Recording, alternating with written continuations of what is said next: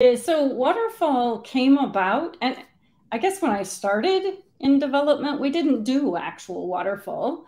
We mm-hmm. actually did much closer to what we talk about today. We had teams who built function, who delivered the function, who ran the function, and mm-hmm. then problems occurred or security happened or take your choice or applications got bigger and we developed waterfall and over the years regulations challenges errors to built up this process of waterfall to make sure there were all the quality gates make sure there were separation of duties make sure there were all those requirements and so we handed our work over never was that a good idea but it was a way to solve particular problems when Agile came out, everybody got wonderful. This is wonderful. I'm going to get rid of all that process.